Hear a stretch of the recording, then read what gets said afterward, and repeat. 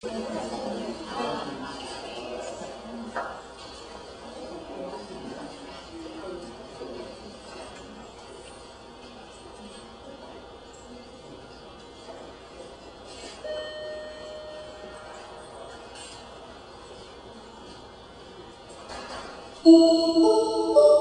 performance will be starting shortly.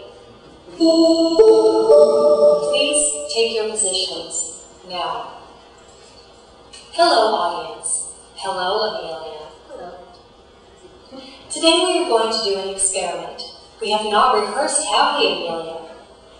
Well, you know what I'm going to say, but you have never tried it out, right? It's hard to fool oneself, even when talking to oneself, I suppose. Today we are going to show the audience how to cry on cue. We have various methods we have not tried out before today, but tonight, for the first time, we will try to make Amelia cry on cue, okay? There are many methods that work for crying on cue, for the stage, TV, movies, performance art, etc. The first and most widely known would be the Stanislavski method of acting. Let's call this the equivalent of, I'm this thin because I do yoga and eat right version of crying on cue. Amelia is going to try to invoke emotions from her past in order to make herself cry from a sense of a real emotion. She will emote right in front of our eyes. See?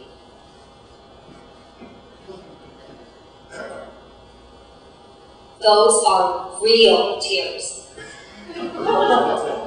Next we have the staring into a bright light in order to make the eyes water technique. This can be easily attained because there are many overly bright lights to stare at on the stage and on film sets, but it is harder for live performance art, which is what projectors are for.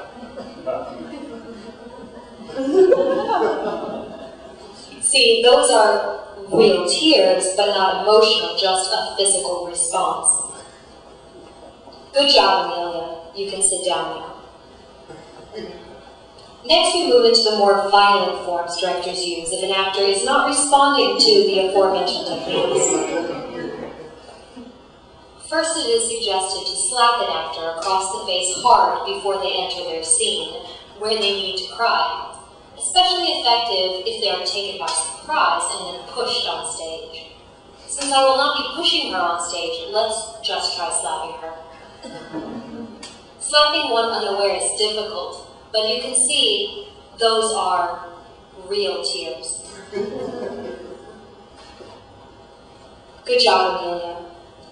Next, we move on to the sudden occurrence of bad news technique.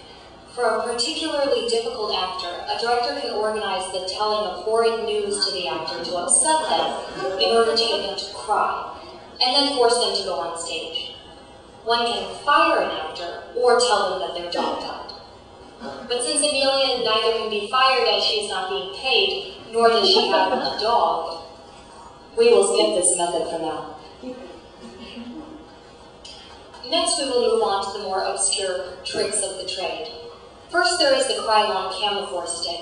This is a stiff cream-based camaphor that is hidden inside a lipstick tube. An actor can carry this in their pocket, and either while on stage or off, on camera or not, suddenly pretend to put lipstick on and either wave the wand in front of their eyes or dot it under their eyes to produce tearing. If you have ever wondered why so many women cry in movies after putting makeup on, this may be why. It can also work in live performances, especially those of a burlesque nature, as one can fit a powder puff and this chemical lipstick into the act. Next, we have something easier to find from your local drugstore. Amelia will first pick up the bottle of artificial tears, a saline solution that can be purchased at any drugstore. One simply needs to place the bottle over one's eyes and pour the solution into the eyes, thus producing fake tears that look real. This is effective if one enters the stage while crying, or in film where one can cut before the use of the bottle and then start filming after. It is not, however, suggested for use for live performance art, as other fluids would be more interesting or have nicer bottles. Next, we move on to the Kryolan Artificial Sweat and Tears. This product can be applied to appear to be either sweat or tears. It lasts longer than the artificial tears made of saline and can leave one's face tear-stained in ways that the saline cannot. It does not go into the it's around the eyes and for photographs, stage. It works best if applied by a makeup artist ahead of time. It is especially useful for durational performance art pieces, as one can appear to have been much more tired and haggard the next morning at a gallery, as if one had been performing all night when there was no audience present. that is all, Amelia. Thank you for crying on cue.